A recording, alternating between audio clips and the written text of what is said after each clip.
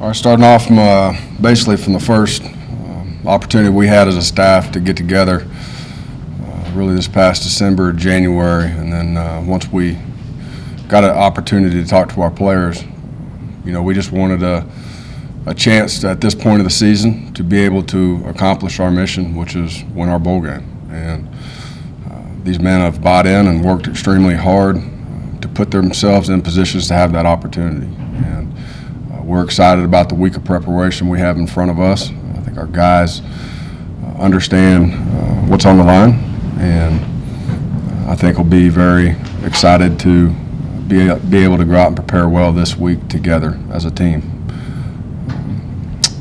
Uh, Each and every week, I say it all the time in this conference, uh, there's a lot of quality opponents. Uh, UTEP is a team that's uh, been in a lot of games that could very easily have been a team in, in a bowl eligible team. Um, you know, they, they've, uh, you know, some things have happened throughout the games that maybe um, cost them, but uh, they got some good players. They're, uh, they play very physical. Uh, they got an unbelievable running back on the defensive side of the ball. Schematically, they're very similar for what we do.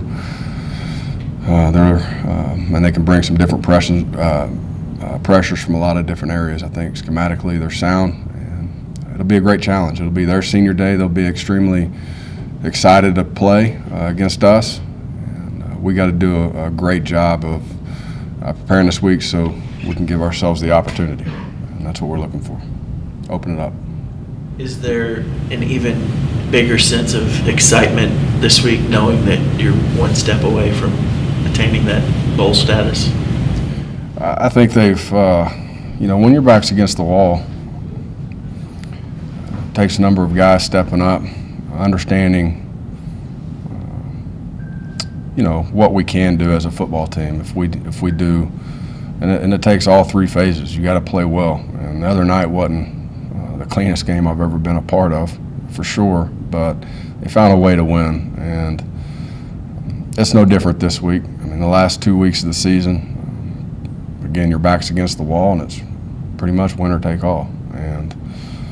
They understand what's at stake, but it, it still comes down to, um, you know, what we've what we've done uh, throughout the season and what our core values are of being selfless, tough, and disciplined, and that's truly uh, what's most important about winning this football game. Sometimes people will squeeze a little tight, uh, you know, try to pull the rope a little bit too hard, and that's exactly the opposite thing we should be doing. Uh, we need to stay focused on who we are, uh, what we believe in, and what we know and how to prepare to win a football game.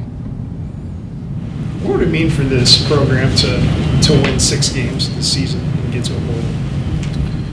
I think it, it, it would mean a lot. Uh, it would mean a lot for, again, through the challenges of having a new head coach come in and a new staff, being able to develop relationships with these men. It just validates that we're on the right track to do some very special things. But just like any anything, just because you're knocking at the door doesn't mean you're there. And we still have a lot of work to do. But it, it's important because it, it validates pretty much the track we're on and what we believe in. And, and uh, yeah, so that's important. When you came in here, you said it at your first press conference, your goal was to win a bowl game this first year. At that point, you hadn't had a chance to evaluate your players. You obviously know a lot more about your situation than you did then. Was, was there a point along the way that you remember realizing that that was a realistic goal and you really had the pieces in place to make that happen? I felt like with the staff we brought in, having seen some tape and, and understanding what we had, uh, I, I felt very good um, about the possibilities if we built those relationships up quick enough, if everybody bought in and, and really pulled the rope in the same direction, uh, there's no doubt in my mind we could accomplish the mission. I don't know if a lot of other people felt that way. Maybe some people thought I was crazy, and that's okay. I understand that. But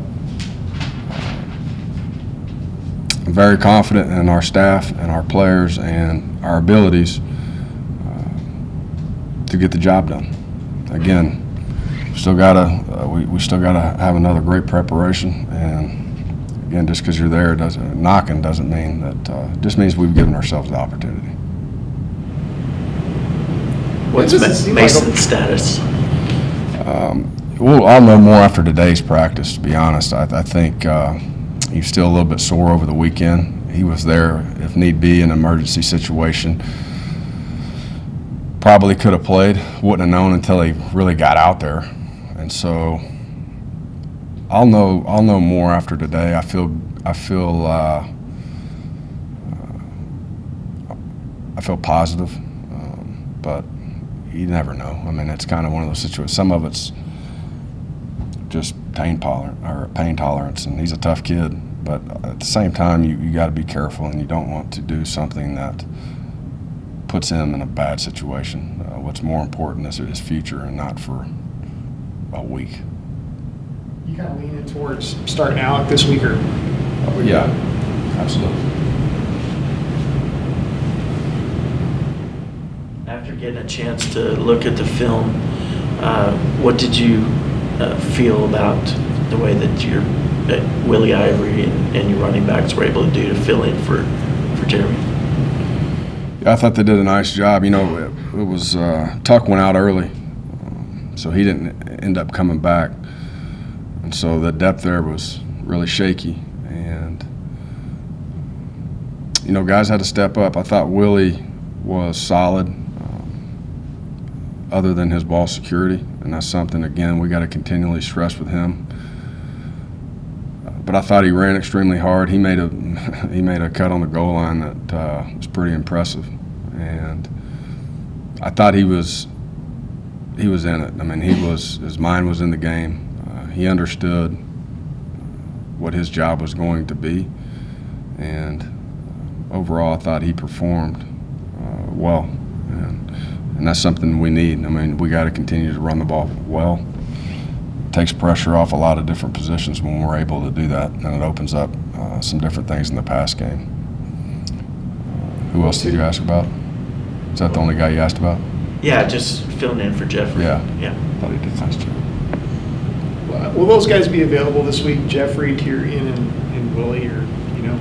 Uh, Jeff has an, uh, a chance, and some of that's going to be on the uh, the week.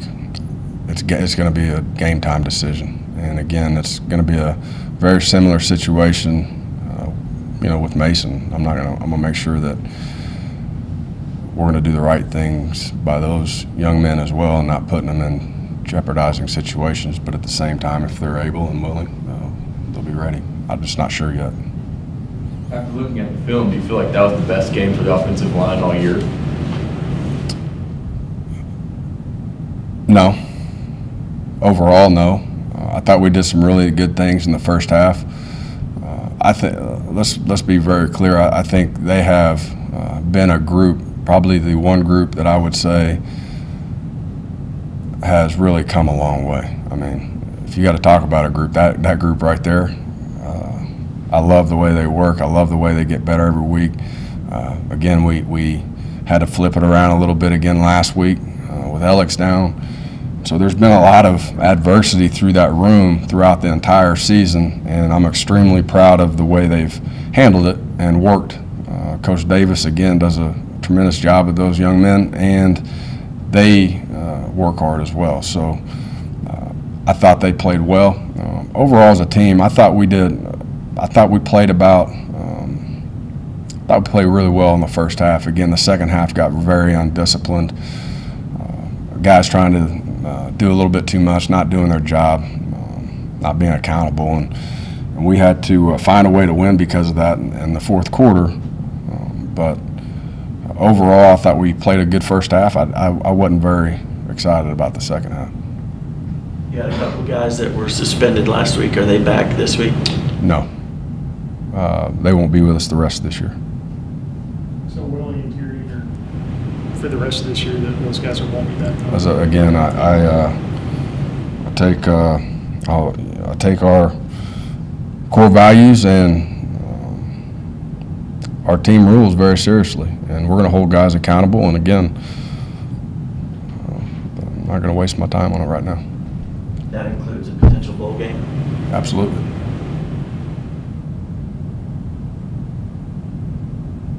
Talk a little bit about UTEP. You mentioned him briefly. I mean, that running back seems like he's a real dynamic player, one of the best playmakers in the conference. Is that really where the strength of their team lies? Yeah, it is, and uh, he uh, he's good. He's really good, and there's they run the football extremely well, and I think schematically they do a great. They know how to run the football. Um, they know they don't just run runs to run them. They uh, they're going to find their numbers, find their angles, and they do a great job of blocking it up. And, and he does a great job of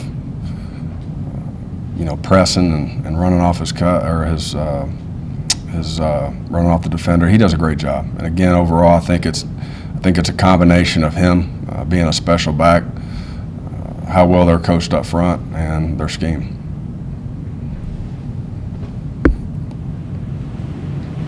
McIntyre kind of came out of out of nowhere last week. You know, he was somebody you hadn't seen all year. You, you know, you're a little short. You put him out there, and he seemed like he did some good things for you. Was that, you know, where did he come from, and, and why did you feel comfortable putting him out there? Well, he's been with us and repping. Uh, you know, we, we, we rep a lot of guys throughout practice for what we do. Uh, those receivers do a, lot of running um, throughout practice, and so you're not you're not just going to get through practice with four and even eight at that time. So we rep a lot of different guys, um, we felt comfortable that uh, he would know exactly what to do, and he would go out there and, and do his job uh, full speed, and that's exactly what he did. You know, when his number was called on, he was uh, he was fired up, and again, I knew I could trust him. And at the end of the day, that's what you're looking for: guys that you know are going to do their job.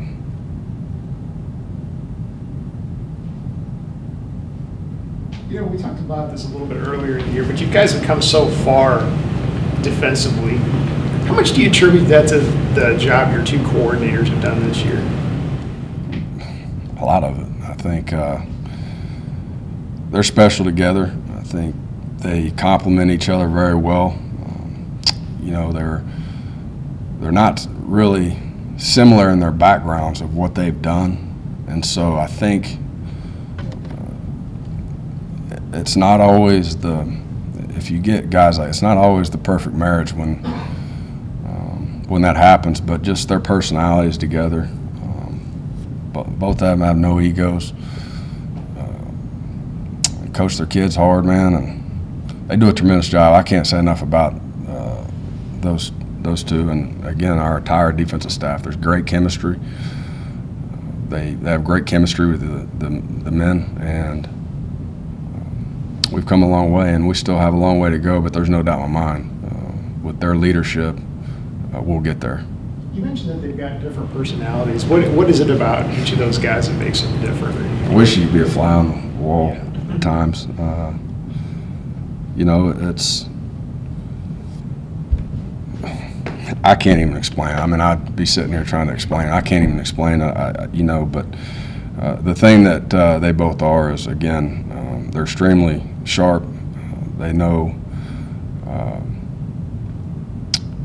and again, they have no ego, so they can they, they work well together on figuring out the best way to put our men in successful situations. That's our job as coaches. We're teachers, and, and making sure that we put them in positions to have success. And that's it's challenging at times because um, you know with different guys' backgrounds, with my background, that, or let's take Graham Harrell for instance, with his background. You know, we're probably doing some things that uh, he's not as comfortable with. And but at the end of the day, uh, Graham's the same way. It's not about having an ego. It's not about letting your pride get in the way of what gives us the best chance to win a football game. And I think that as coaches, sometimes that's one of the hardest things to do.